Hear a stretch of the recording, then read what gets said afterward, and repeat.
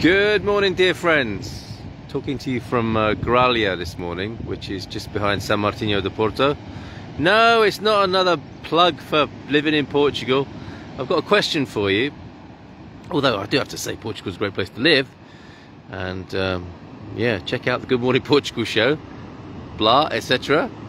But look at this. I'm just standing here, and you know I like to record the occasional meditation video and I am uh, deeply not concerned but fascinated by us human beings and uh, how we how we're happy how we achieve our greatest potential. And it just occurred to me that the first time I saw this view I um, was very taken by it. And as I come back to this view I, I realised I stood here uh, looking at my phone whilst there's this view next to me and that's what we do, isn't it, as human beings? We have this incredible sense of awe. And then something happens. When we think we know something, we're not as awestruck as we first were when we first encountered it. And we have this mechanism. And I, I suppose it, like with most things in this existence, it works, you know, for better or for worse. It's good and it's bad. And the good thing about being able to manage experiences and put them into boxes is that we can be safe can't we? So if every time we saw a view like this, or if every time we were present to the magnificence and miracle of being alive, we might be in a constant state of um, exhaustion, for one thing, or overwhelmment.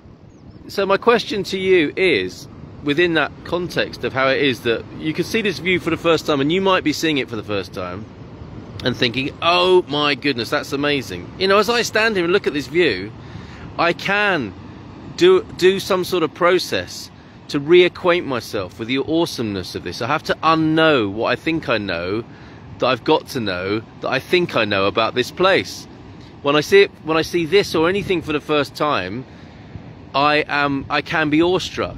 But then the mind, the human mind comes in, like it does with everything, and says, "Now I know this view now. I know that situation. I know these people. I know that country. I know this. I know that, and that protects me." From having to keep wondering about it and, and being in a constant state of awesome overwhelmment. So how can we get a balance? How can we get a balance of staying open to the miracle of being alive without being constantly overwhelmed by how awesome life is? There must be a way, right? There must be a way to live in everyday miraculousness such that the gland and filter of okay I've got this figured now okay I've got this figured now okay I've got this figured now I know this I know that blah blah blah and that makes life a dull mundane possible hell doesn't it? I know everything I've figured it figured everything out. There are no shocks there are no surprises. How do we open that gland up to a sufficient level so that we can stay open? To for example the awesomeness of this view. I mean just take a look at it if you begin to ponder and connect with this view and see how much sea there is, how vast this is, it is overwhelming. This is extraordinary. And that's why it's such a wonderful view. That's why we love big views, isn't it? We come and see the big views. And then we see the view for a second time. You build, you, you know, a human being might build a house with this view and then take it for granted.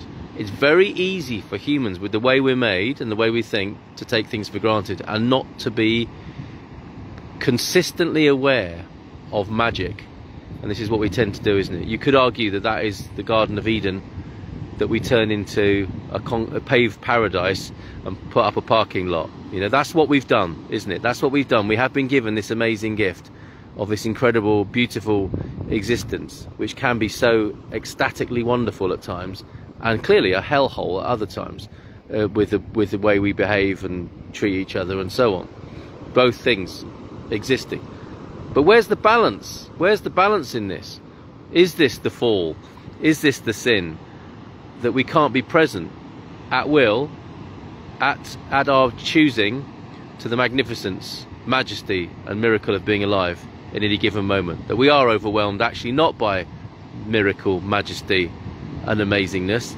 We're overwhelmed, generally speaking, by our problems, our depressions, our anxieties, and that is epidemic in this world we live in. You know, never mind a pandemic of a virus.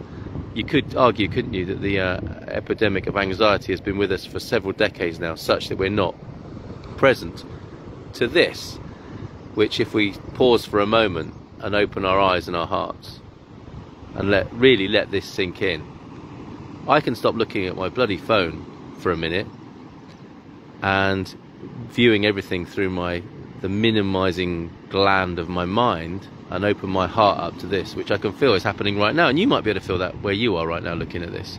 I hope that is the case for you. And I hope. Is that a whale out there? I could see something in, the water. Um, I see. See, if a whale suddenly arose out of the water, I would be taken by surprise, and I would see miracle and majesty.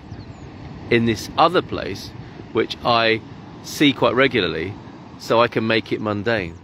How do we deal with that, folks? How do we how do we overcome our ability to make everything mundane and turn everything into a bloody problem, which is the which is the nature of the human mind, isn't it? How do, how does the heart come back into this? How do we open up to the miracle, to the majesty, to the magic of life, and get that balance right? And I know we do it for our own safety and protection. But whilst it's just like my virus protector on my computer, whilst I've installed it out of fear, it's now choking up some of the performance of my computer. Some of the good performance is being choked up by the very thing I've installed for my safety and security. Isn't that an amazing metaphor? Isn't that what characterizes these times in the mainstream? Don't be mainstream. Be magical. Be mysterious. Be mischievous. Be mystical.